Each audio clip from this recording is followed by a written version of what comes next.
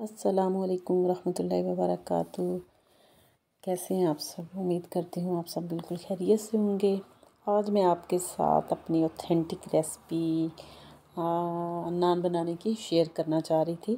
आ, आप इससे नान बनाएँ या पिज़्ज़ा तो सेम ही रेसिपी है।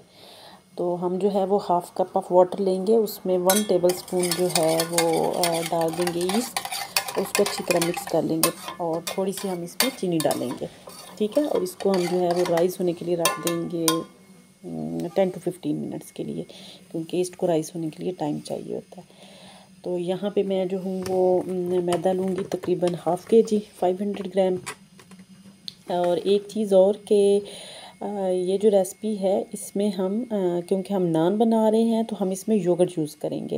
लेकिन अगर आप पिज़्ज़ा बनाएँगे तो आप सिर्फ़ इसमें से योगर्ट स्किप कर देंगे और डो सेम ऐसे ही बनेंगी, जैसे नान की डो होती है। नान की डो में सिर्फ़ योगर्ट यूज़ की जाती है और जो पिज़्ज़ा की डो है, उसमें योगर्ट स्किप की जाती है। उसमें योगर्ट नहीं यूज़ की जाती, बाकी सब इन्ग्रीडियंट सेम ही है। मतलब आप ईस्ट डालेंगे one tablespoon half cup of water में ईस्ट डालेंगे एंड हाफ़ टेबल स्पून उसमें शुगर डाल के आप उसको मिक्स करके आप उसको जो है वो राइस होने के लिए रख देंगे। उसके बाद फिर ये देखें, जैसे मैंने मैदा लिया, उसमें दो टेबल स्पून मैंने योगर्ट डाली है, फिर मैंने उसमें ऑयल डाला है और इसको हम अच्छी तरह हाथ से मसल लेंगे ताकि गुठलियाँ वगैरह ना बने, क्योंकि ऑयल भी है और और अच्छी तरह मिक्स हो जाए ऑयल और योगर्ट जो है। इनको हमने अच्छी तरह मिक्स करना है। जैसे पूड़ी बनाते हुए, पूरियाँ बना, बनाने के लिए नहीं, हम करते, डो बनाते हैं सेम ऐसे ही। इसको अच्छी तरह मिक्स करने के बाद, उसके बाद जो ईस्ट हमने रखी थी राइस होने के लिए, वो राइस हो चुकी है आफ्टर टेन मिनट्स तो अब ये इसमें डालूँगी और तकरीबन हाफ़ कप जो है, ये था और हाफ़ कप ही और जो है वो पानी यूज़ हुआ है इस डो को बनाने के लिए। आप जो हैं वो इसमें ये डाल के इसको अच्छी तरह मिक्स करें, फिर उसके बाद आप और पानी चाहिए होगा, और पानी के साथ आप जो है वो इस डो को अच्छा नरम डो हम जो है वो गूँधेंगे सख्त डो नहीं गूँधी जाएगी, क्योंकि हम सख्त डो गूँधेंगे तो हमारा जो पिज़्ज़ा है जो हमारा नान है वो भी अच्छा नहीं बनेगा। इसको आपने अच्छी तरह गूँधना है, अच्छी तरह से जितना आप अच्छा इसको गूँधेंगे उतना ही अच्छा आपको जो रिज़ल्ट है वो मिलेगा, उतना ही अच्छा नान जो है वो फूल के और सॉफ्ट बनेगा। इसको अच्छी तरह से गूंदने के बाद हम इस पे जो है वो अपने हाथों के साथ ऑयल लगा के, इसके चारों तरफ़ अच्छी तरह ऑयल लगाएँगे। ऑयल लगा के अच्छा गोल सा पेड़ा बना लें, उसके बाद क्लिंग लगा लें। अगर ये आपके पास नहीं है तो आप इसको किसी एयर टाइट कंटेनर डिब्बा, जो भी आपके पास है उसमें आप इसको अच्छी तरह से बंद करके और किसी नरम जो है वो जगह गरम जगह पे रखेंगे। सॉरी, नरम नहीं, नरम भी हो तो ठीक है। जैसे दही नहीं लगाते हम, सेम ऐसे ही। दही जैसे लगाते हैं सर्दियों में तो उसको अच्छी तरह ढक के कवर करके अम्मियाँ रखती हैं ना, सेम ऐसे ही इसको अच्छी तरह ढक के कवर करके रखना है, क्योंकि हीट इसके राइज होने के लिए बहुत ज़रूरी है। और तकरीबन देखें, दो घंटे आपको लगेंगे और दो घंटों के बाद फिर मैंने जो है इसको जब निकाला तो ये माशाल्लाह इतना अच्छा जो है वो नान का आटा राइस हो चुका था। उसके बाद आपने इसको अच्छी तरह दोबारा से जो है वो हाथों के ज़रिए अच्छी तरह इसको पॉपअप कर लेना है, क्योंकि इसके अंदर एयर अब चली जाती है ना तो उस एयर को रिमूव करने के लिए ज़रूरी है कि हम इसको दोबारा एक दफ़ा राइस होने के बाद इसको अच्छी तरह से प्रेस कर लें ताकि एयर बबल्स, एयर जितनी भी है वो इसके अंदर से रिमूव हो जाए। उसके बाद मैं जो हूँ वो नान, मेरे पास इलेक्ट्रिक तंदूर है, मैं इसमें बनाती हूँ। आप ये तवे पे भी बना सकते हैं।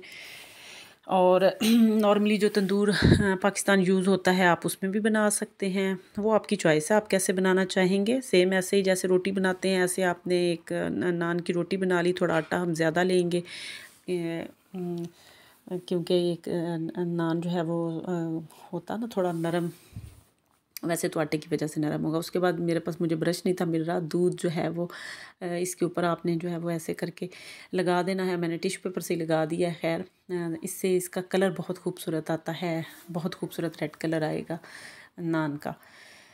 उसके बाद, क्योंकि ऊपर जो मेरा ये इलेक्ट्रिक तंदूर है, ऊपर से इसके राड्स जो हैं, वो नीचे से पकाते हैं और फिर इसको अंदर रखना पड़ता है तो ऊपर से हीट पड़ती है। लेकिन जो आम तंदूर हमारे मिट्टी के पाकिस्तान वाले हमारे तंदूर हैं, उसमें तो सामने से पता हीट लग रही होती ना, पीछे से भी पक रहा होता और सामने से भी वो दोनों चीज़ें भैया वक्त पक रही होती हैं। लेकिन ये जो तंदूर है, इसमें पहले ऊपर थोड़े टाइम के लिए रखना पड़ता, उसके बाद फिर इसको निकाल के अंदर। और देखें, माशाल्लाह से कितना खूबसूरत जो है वो ये नान जो है, वो नीचे से ऊपर से पक के तो तैयार हुआ है।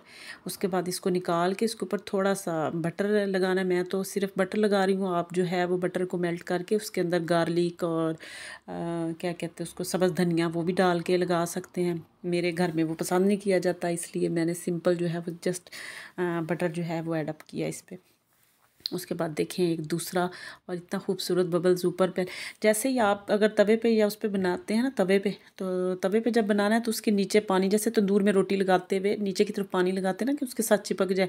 सेम ऐसे ही तवे पे भी। पहले मैं तवे पे बनाती थी, अब जब का ये मेरे पास तंदूर आ गया तो मैं तवे से बनाना जो है वो छोड़ दिया।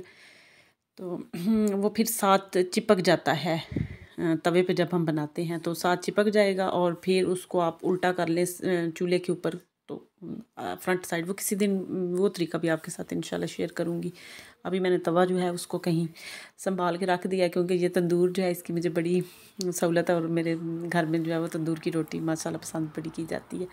तो ऐसे ही देखें आप इतने स्पीडीली इतने अच्छे हेल्दी साफ़ सुथरे अपने घर में जो है वो नान बना सकते हैं। आप ज़रूर जो हैं वो इनको ट्राई करें और कमेंट में मुझे ज़रूर बताएँ कि आपके नान जो हैं वो कैसे बने हैं। और जो पिज़्ज़ा है उसकी रेस, उसकी डो जो है वो भी सेम है। मतलब रेसिपी नहीं, सॉरी उसकी डो भी सेम ऐसे ही बनाते हैं, उसमें सिर्फ़ योगर्ट नहीं डाली जाती। सेम ऐसे ही आपने उसकी भी बना लेनी है। और इस दिन पिज़्ज़ा भी आपके साथ इंशाल्लाह शेयर करती हूँ। डो सेम यही तरीका होगा, जस्ट उसमें हम जो दही है वो ऐड नहीं करेंगे। और जो है वो पिज़्ज़ा हमारा बन के इनशाला रेडी हो जाएगा। अब देखें कितने खूबसूरत, माशाल्लाह से ये नान बने हैं। अब देखें मैं मैंने फ़ाइव टू टेन मिनट्स में फ़ाइव टू टेन मिनट्स भी ज़्यादा हैं, बल्कि बहुत स्पीडीली बहुत जल्दी बन जाते हैं, माशाल्लाह से। और इतने सॉफ्ट और इतने अच्छे बनते हैं, देखें, इनको मैं आपको प्रेस करके भी दिखा रही हूँ कि आपको अच्छी तरह आइडिया हो जाए कि कितने सॉफ्ट माशाल्लाह से, बहुत टेस्टी ये बनते और आपने मुझे अपनी दुआ में भी याद रखना है कमेंट सेक्शन में ज़रूर बताना है कि आपको मेरी ये रेसिपी कैसी लगी। दुआ में याद रखिएगा, मेरे चैनल को सब्सक्राइब कीजिएगा। अल्लाह हाफिज़।